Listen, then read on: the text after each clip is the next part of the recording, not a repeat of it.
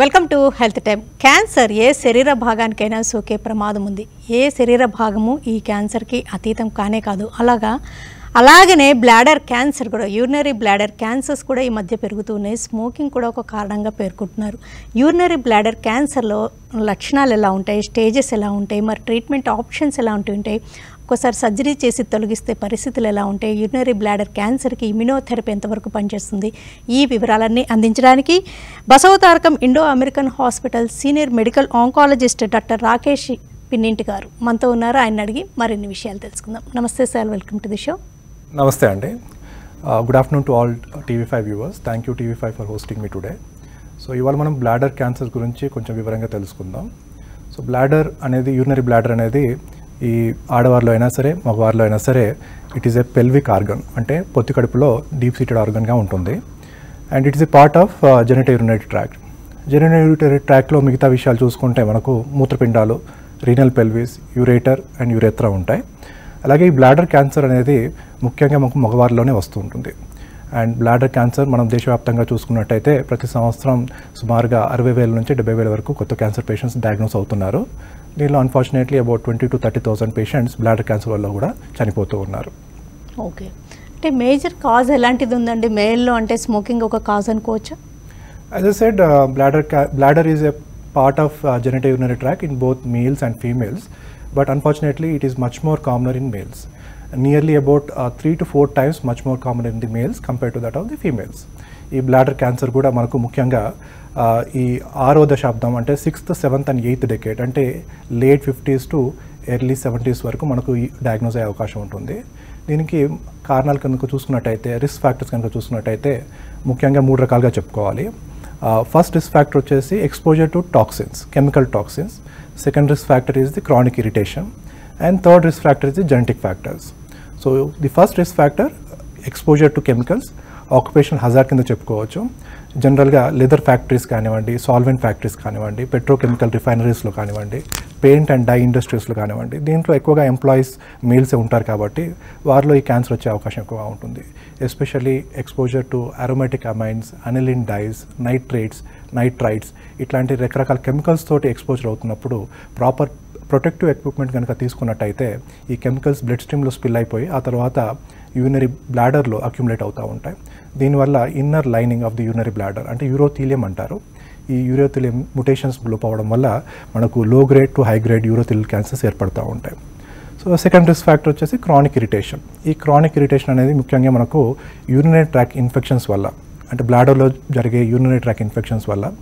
Next catheters Foley's catheter లేదంటే DJ stent లాంటి indwelling catheters వల్ల.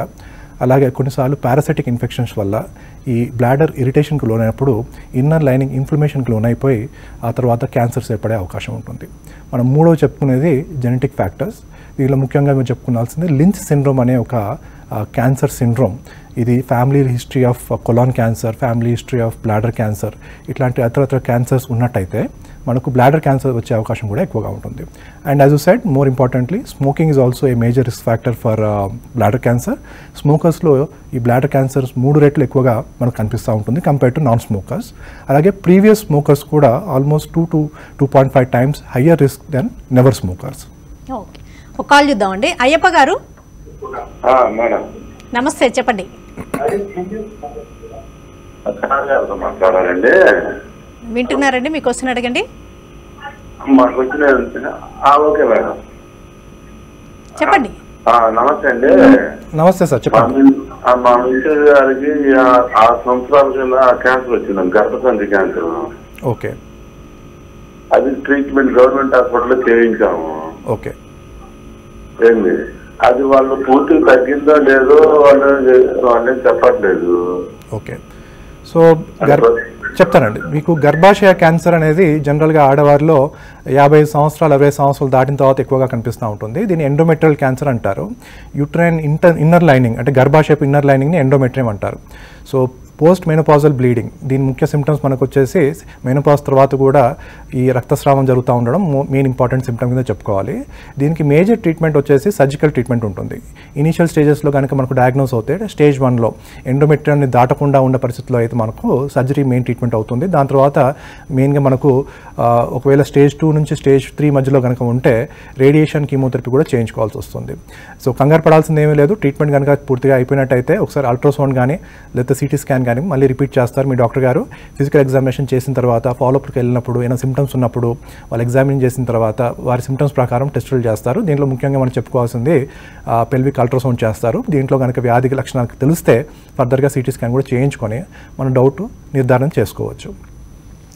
బ్లాడర్ క్యాన్సర్ సిమ్టమ్స్ ఎలాంటివి ఉంటాయి అంటారు so bladder cancer is a part of genito tract అని ముందే చెప్పుకున్నాము. సో జెనెటో ట్రాక్లో ఉండే సిమ్టమ్స్ వచ్చేసి మెయిన్గా బ్లాడర్ క్యాన్సర్కి వచ్చేసరికి పెయిన్లెస్ హెమచూరియా అంటారు. ఎలాంటి ఇబ్బంది లేకుండా రక్తస్రావం మనకు యూరిన్లో కనిపించినప్పుడు మనం ముఖ్యంగా ఈ వయసు ఎక్కువగా ఉన్న వాళ్ళకి అట్లీస్ట్ ఫిఫ్టీ ఫైవ్ ఇయర్స్ దాటిన వాళ్ళకి అలాగే కెమికల్ ఎక్స్పోజర్ ఎక్కువగా ఉన్న వాళ్ళకి అలాంటి ఇండస్ట్రీస్లో పనిచేసే వారికి అలాగే స్మోకర్స్కి మనం బ్లాడర్ క్యాన్సర్ గురించి కొంచెం జాగ్రత్తగా డయాగ్నోస్ చేసుకునేందుకు ప్రయత్నం చేసుకోవాలి. అలాగే ఈ ఇరిటేటివ్ సిమ్టమ్స్ అంటే డిస్యూరియా ఫ్రీక్వెన్సీ అర్జెన్సీ హెసిటెన్సీ ఇట్లాంటి ఇరిటేటివ్ అవుట్లెట్ అబ్స్ట్రక్షన్ సిమ్టమ్స్ ఇవి కూడా మనకు ముఖ్యంగా వయసు మళ్ళిన వారికి అట్లీస్ట్ ఫిఫ్టీ ఇయర్స్ దాటిన వాళ్ళకి కనుక ఈ సిమ్టమ్స్ పర్సిస్టెంట్గా ఉంటే దాన్ని మనం బ్లాడర్ క్యాన్సర్ లక్షణాల కింద తీసుకోవచ్చు. అలాగే some sometimes there could be weight loss loss of appetite అలాగే ఒకవేళ బ్లాడర్ క్యాన్సర్ స్టేజ్ కనుక అడ్వాన్స్ స్టేజ్కి వెళ్ళిపోతే బోన్ పెయిన్స్ కాఫ్ ఇట్లాంటి అడ్వాన్స్ సిమ్టమ్స్ కూడా వచ్చే అవకాశం ఉంటుంది. నెక్స్ట్ కాల్ చేద్దామండి. హలో హలో నమస్తే చెప్పండి. నమస్తే అండి చెప్పండి మీకు వస్తున్న అడగండి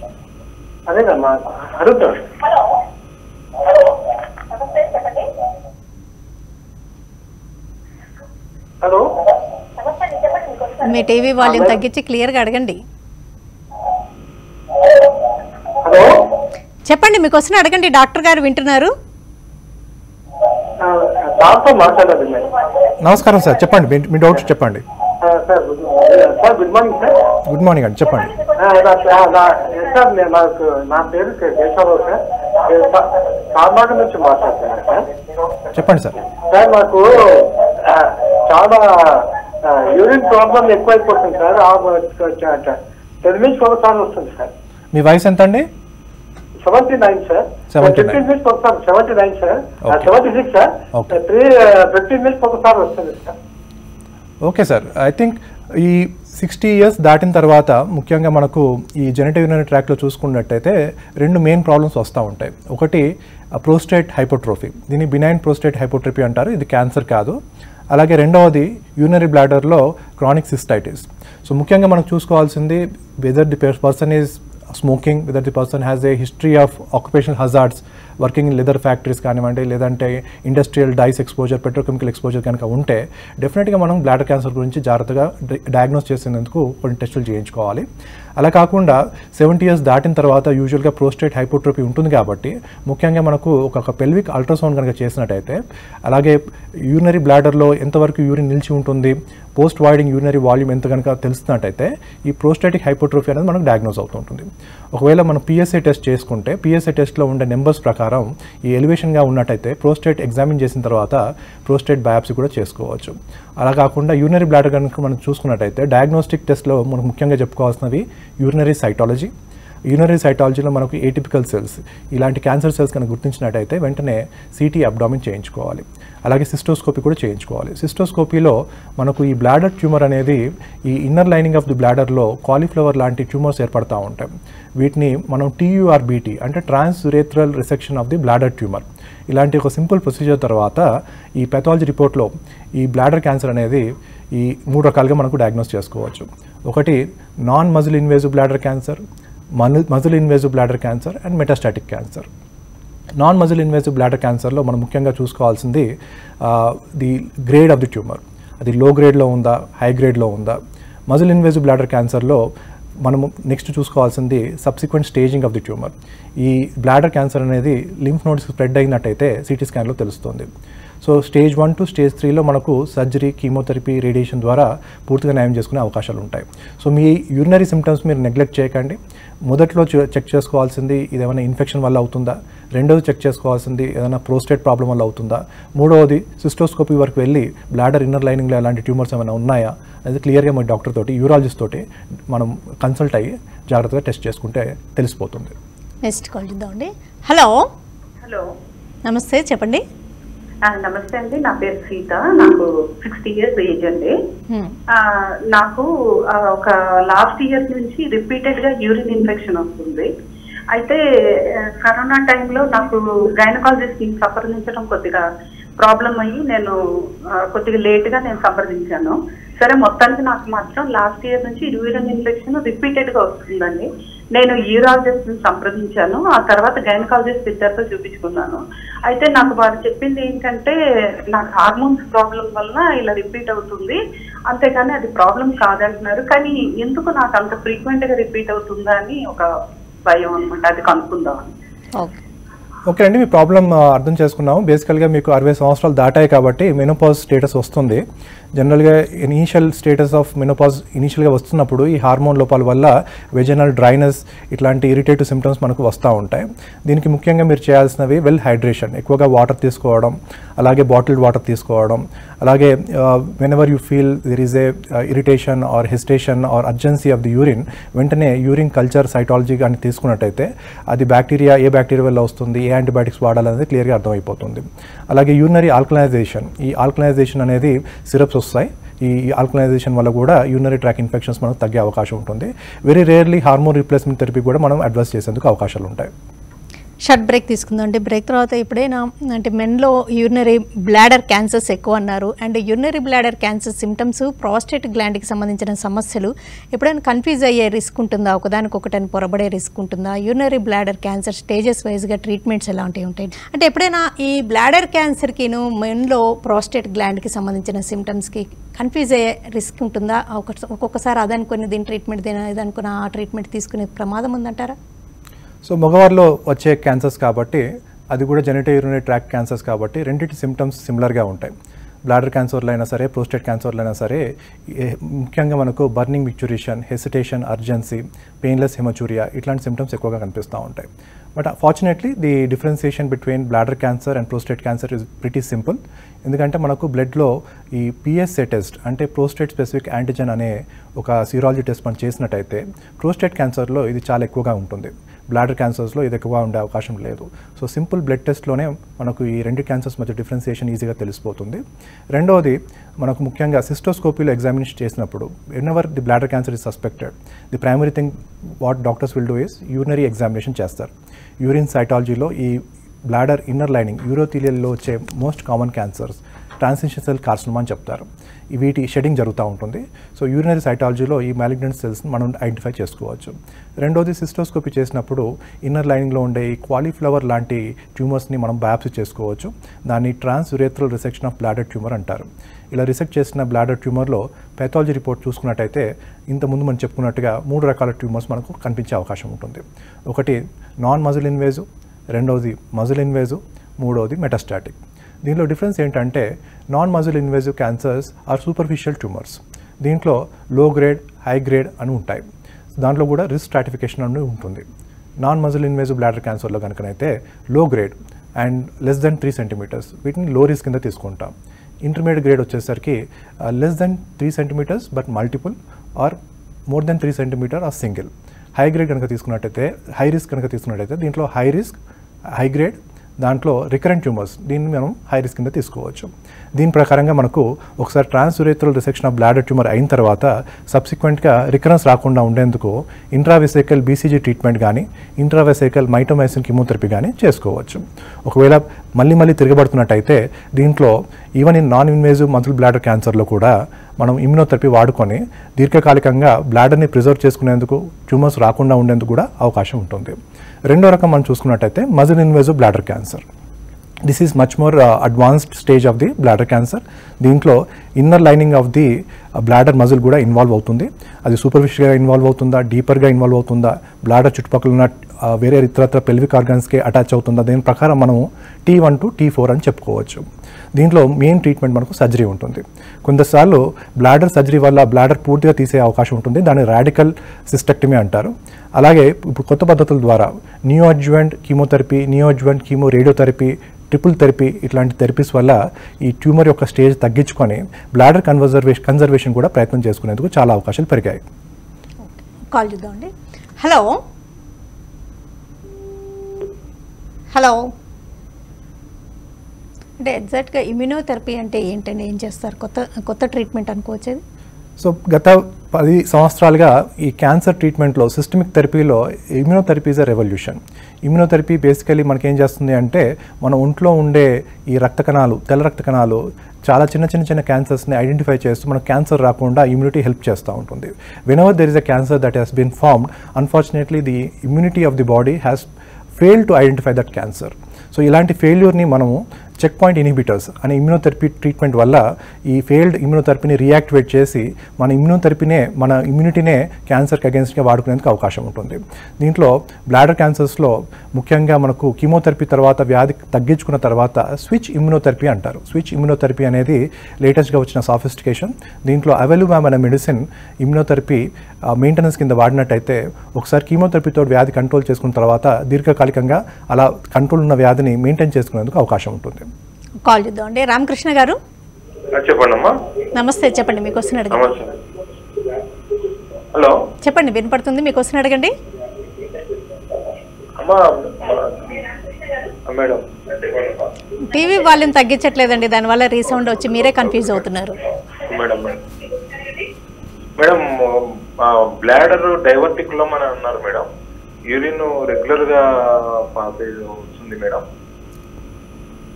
దాని గురించి డాక్టర్ గారితో మాట్లాడడానికి చేశాను సో బ్లాడర్ డైవర్టికులం అనేది మనకు యూరినరీ బ్లాడర్లో యాక్సెసరీగా ఒక చిన్న పౌచ్ లాంటిది ఏర్పడిపోతూ ఉంటుంది.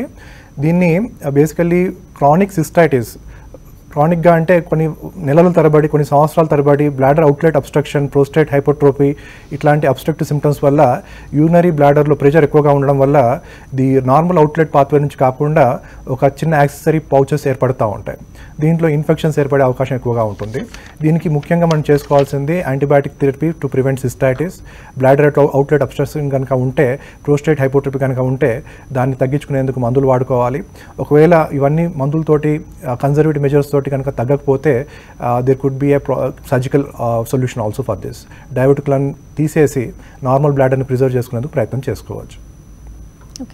బ్లాడర్ క్యాన్సర్కి ఇతర అంటే జెనిటో యూరినరీ సిస్టమ్కి సంబంధించిన క్యాన్సర్స్కి ఏమన్నా సంబంధం ఉండే రిస్క్ ఉంటుందా? నియర్ బై యూట్రస్ క్యాన్సర్ కానీ లేకపోతే ప్రాస్టేట్ గ్లాండ్కి సంబంధించిన క్యాన్సర్స్ వచ్చినప్పుడు బ్లాడర్ క్యాన్సర్కి కూడా గురయ్యే రిస్క్ ఉంటుందంటారా? So bladder is as I said previously it's a part of genito urinary tract upstream కానీ చూసుకున్నట్టయితే కిడ్నీ ఉంటుంది. కిడ్నీ నుంచి రీనల్ పెల్విస్ దాని తర్వాత యూరేటర్ అండ్ డౌన్ స్ట్రీమ్ చూసుకుంటే యురేత్రా ఉంటుంది. మగవారిలో ముఖ్యంగా ప్రోస్టేట్ అనేది కూడా బ్లాడర్ దాటిన తర్వాత యురేత్రకి మధ్యలో ఉంటుంది. సో ఈ male genito urinary tract cancers మనకు ప్రపంచవ్యాప్తంగా చూసుకున్నట్టయితే బ్లాడర్ క్యాన్సర్స్ వచ్చేసి ఒక ఐదు లక్షల నుంచి ఐదున్నర లక్షల వరకు కొత్త క్యాన్సర్స్ డయాగ్నోస్ అవుతున్నాయి దీంట్లో సుమారుగా రెండు లక్షల నుంచి రెండున్నర లక్షల వరకు క్యాన్సర్ పేషెంట్స్ బ్లాడర్ క్యాన్సర్ వల్ల చనిపోతూ ఉన్నారు దీంట్లో భారతదేశంలో కూడా స్టాటిస్టిక్స్ అంతా స్ట్రాంగ్గా లేకపోయినా అంచనా ప్రకారం almost sixty to seventy thousand new cancer patients of bladder are being diagnosed and unfortunately around twenty to 25,000 bladder cancer patients are unfortunately losing their lives because of the bladder cancers. As I said before, the main symptoms వచ్చేసి దీంట్లో painless hematuria అలాగే కొన్ని urinary symptoms like hesitation urgency frequency burning micturition and advance స్టేజెస్లో దీంట్లో బరువు లోపం పొత్తి కడుపులో నొప్పి abdominal discomfort bladder cancers rectum attach అవ్వడం వల్ల మోషన్లో కూడా రక్తం రావడం మోషన్ కూడా టైట్ అవుతుండడం ఇట్లాంటి సిమ్టమ్స్ కూడా మనం చూసుకోవచ్చు. దీనికి మెయిన్ ట్రీట్మెంట్ ఇనిషియల్ స్టేజెస్లో అయితే సర్జరీ ఉంటుంది. సబ్సిక్వెంట్ స్టేజెస్ ఒకవేళ స్టేజ్ టూ స్టేజ్ త్రీలో కనుక అయితే సర్జరీ తర్వాత కీమోథెరపీ కీమో రేడియోథెరపీ కూడా ఉంటుంది. అడ్వాన్స్ స్టేజెస్లో అంటే బ్లాడర్ క్యాన్సర్స్ లివర్ కానీ కిడ్నీ దాటుకొని బ్లాడర్ దాటుకొని లంగ్స్ కానీ స్ప్రెడ్ అయితే దీన్ని మెటాస్టాటిక్ క్యాన్సర్ అంటారు. మెటాస్టాటిక్ క్యాన్సర్స్కి కీమోథెరపీ కీమోథెరపీ వాడిన తర్వాత రెస్పాన్స్ వచ్చిన తర్వాత ఇమ్యూనోథెరపీ మెయింటెనెన్స్ కింద కూడా వాడుకోవచ్చు. సో రెండవ క్యాన్సర్ మనకు మగవారిలో జెనెటిక్ యూనిట్ ట్రాక్ చూసుకునేది prostate cancer prostate cancer usually seventh and eighth decade దాటిన తర్వాత వృద్ధాప్యంలో వచ్చే మెయిన్ క్యాన్సర్ ఇది. దీనికి మనకు ప్రోస్టేట్ బయాప్సీ ఉంటుంది పిఎస్సీ అనే బ్లడ్ టెస్ట్ ఉంటుంది. దీంట్లో ఈ గ్లీజన్ స్కోర్ అనేది చెక్ చేస్తాము. అలాగే ఇనిషియల్ స్టేజెస్లో అయితే దీనికి రోబోటిక్ సర్జరీ కానీ జనరల్ లాప్రోస్కోపిక్ సర్జరీ కానీ చేసి నయం చేసే అవకాశం ఉంటుంది. అడ్వాన్స్ స్టేజెస్లో ఆర్కిటెక్టమీ చేయించుకోవాలి. ఆర్కిటెక్టమీ అంటే ఈ ఈ టెస్టోస్టరాన్ ప్రొడ్యూస్ చేసే టెస్టికల్స్ని సప్రెస్ చేసేందుకు ఐదర్ కెమికల్ క్యాస్ట్రేషన్ కానీ సర్జికల్ క్యాస్ట్రేషన్ కానీ చేస్తారు. ఆ తర్వాత ఇప్పుడు వచ్చే కొత్త మందులు టాబ్లెట్స్ వల్ల కూడా ఈ క్యా ప్రోస్టేట్ క్యాన్సర్ని దీర్ఘకాలికంగా కంట్రోల్ చేసుకునేందుకు అవకాశం ఉంటుంది. ఒక కాల్ చేద్దామండి. హలో? హలో మేడం నమస్తే మేడం. నమస్తే అండి చెప్పండి. సార్తో మాట్లాడదు మేడం. నమస్తే చెప్పండి సార్. సార్ నమస్తే. నేను నాకు యూరిన్ ఇన్ఫెక్షన్ అయింది సార్. మీ వయసు ఎంత చెప్పండి? సార్? మీ వయసు ఎంత? నాకు eighty five running sir. Okay. ఏమైనా టెస్టులు చేయించుకున్నారా? మీరు హాస్పిటల్ వెళ్ళారా? అల్ట్రాసౌండ్ కానీ యూరినరీ కల్చర్ టెస్ట్ కానీ చేయించుకున్నారా? ఇన్ఫెక్షన్ అనిపోతే బ్లాడర్ వీక్ అనేసి పైపు గుచ్చి బయట పెట్టేసినారు urine వచ్చేటానికి okay. Eighteen months nineteenth month జరుగుతా ఉంది. ఓకే. అది అంతే ఉండిపోవాలా సార్? ఈ బ్లాడర్ యూరిన్ బ్లాడర్. చెప్తానండి. సో ఎయిటీ ఫైవ్ ఇయర్స్ ఆ టైంలో జనరల్గా ఈ న్యూరలాజికల్ ప్రాబ్లమ్స్ కూడా ఉంటాయి ఎస్పెషల్లీ పార్కిన్సన్స్ డిసీజ్ అలాగే ఆల్జిమస్ డిసీజ్ ఇట్లాంటి న్యూరో డీజనరేటివ్ కండిషన్స్ కూడా వస్తూ ఉంటాయి. ఇలాంటి న్యూరో డిజనరేషన్ కండిషన్స్ వల్ల ఈ బ్లాడర్లో ఎటోనియా అని వస్తుంది. అంటే బ్లాడర్లో ఉండే మజిల్ యొక్క లయ తప్పిపోతుంది. కంట్రోల్ చేసేందుకు అవకాశం తక్కువగా ఉంటుంది. ఇలాంటి పరిస్థితుల్లో జనరల్లో ఏటోనిక్ బ్లాడర్ కానీ న్యూరోజెనిక్ బ్లాడర్ కానీ ఉన్నప్పుడు కెథెటర్ పెడతారు. అలాగే మీరు న్యూరో ఫిజిషియన్తో మాట్లాడినప్పుడు వారు ఎంఆర్ఐ బ్రెయిన్ కానీ ఎంఆర్ఐ పెల్విస్ కానీ చేసినప్పుడు వేరే ఏమైనా అబ్స్ట్రక్టివ్ సిమ్టమ్స్ ఏమైనా ఉన్నాయో చెక్ చేసుకుంటారు. దీంట్లో ముఖ్యంగా మనం చెప్పుకోవాల్సినది ప్రోస్ట్రేట్ ఇలాంటి అబ్స్ట్రక్టివ్ సిమ్టమ్స్ ఉంటే సర్జరీ ద్వారా దాన్ని అబ్స్ట్రక్షన్ తొలగించేసి పోలీస్ కెథెట్ లేకుండా కూడా యూరిన్ ఫ్రీగా వచ్చే అవకాశం చూసుకోవచ్చు. అలాగే మీరు సిస్టోస్కోపీ చేయించుకోండి. సిస్టోస్కోపీలో ఇన్నర్ లైనింగ్ ఆఫ్ ది బ్లాడర్లో ఇన్ఫెక్షన్ ద్వారా కానీ ఇన్ఫెక్షన్ లేకుండా కానీ ఏదైనా అబ్స్ట్రక్షన్ కానీ లేదంటే ట్యూమర్ కానీ ఉంటే దాన్ని తొలగించడం వల్ల కూడా మీ సిమ్టమ్స్ తగ్గిపోతూ ఉంటాయి. సో మీరు ఫస్ట్ యూరాలజిస్ట్ని కలవాలి. వారు inner lining of the bladder check చేసుకునేందుకు సిస్టోస్కోపీ చేస్తారు. సిస్టోస్కోపీ ఫైండింగ్స్ ఎలా ఉన్నాయో చూసుకొని దాని ప్రకారం ముందుకెళ్దాం. ఈ సమస్య ప్రివెంటివ్ కేర్ అంటే ఎంతవరకు తీసుకోగలరంటారు? So prevention of bladder cancers అనేవి మనం ముఖ్యంగా చెప్పుకోవాల్సినవి. As I said previously there are three factors that can contribute towards the risk of the bladder cancers chemical exposure chronic irritation and genetic causes chemical exposure బేసికల్గా ఈ industrial workers occupation hazards వల్ల అవుతుంటాయి. దీంట్లో ముఖ్యంగా protective equipment కనుక తీసుకున్నట్టయితే పీరియాడికల్గా urinary cytology కానీ డిప్స్టిక్ హిమచూరియా కానీ చెక్ చేసినట్టయితే ఎర్లీ స్టేజెస్లో మనం డయాగ్నోస్ చేసేందుకు అవకాశం ఉంటుంది. Chronic irritation. పోలీస్ కెథెటర్ కానీ డీజెస్టెంట్ కానీ మూడు నెలలకు సం పైబడి మనం పెట్టుకునేందుకు ప్రయత్నం చేయకూడదు. అలాగే ఇన్ఫెక్షన్స్ని కూడా త్వర త్వరగా యాంటీబయాటిక్స్తో ట్రీట్మెంట్ చేయించుకుంటే ఆ ఇన్ఫెక్షన్స్ తగ్గడం వల్ల బ్లాడర్ క్యాన్సర్స్ వచ్చే అవకాశం కూడా తగ్గిపోతుంటుంది అలాగే lifestyle modifications maintaining healthy weight avoiding alcohol avoiding smoking ఇవన్నీ కూడా చాలా వరకు ప్రివెంటివ్ మెజర్స్ కింద చెప్పుకోవచ్చు. ఓకేనండి డాక్టర్ రాకేష్ గారు. థ్యాంక్స్ ఎలాట్ అండి. డాక్టర్ గారు చెప్పినట్టుగా పురుషుల్లో ఈ క్యాన్సర్ బ్లాడర్ క్యాన్సర్ ఎక్కువగా కనిపిస్తూ ఉంటుందని ఈ మధ్య ఎక్కువగా విస్తరిస్తున్న క్యాన్సర్స్లో ఇది కూడా ముందు స్థానంలో ఉందని. అయితే బ్లాడర్ క్యాన్సర్ ఒక్కొక్కసారి ప్రోస్టేట్ గ్రంథికి సంబంధించిన సమస్యలకు కన్ఫ్యూజ్ అయ్యే రిస్క్ ఉంటుంది కాబట్టి ఒక సర్టన్ ఏజ్ వచ్చాక యూరినరీ ప్రాబ్లమ్స్తో పాటు యూరిన్లో బ్లడ్ కనిపిస్తే తప్పనిసరిగా తరోగా చెకప్ చేయించుకొని ముందుగానే ఈ క్యాన్సర్ని పసిగడితే సరైన ట్రీట్మెంట్స్ తోటి రికవర్ అవ్వచ్చని. డాక్టర్ రాకేష్ పిన్నింటి గారు తెలియజేశారు. ఇది వాళ్ళ health time keep watching TV five.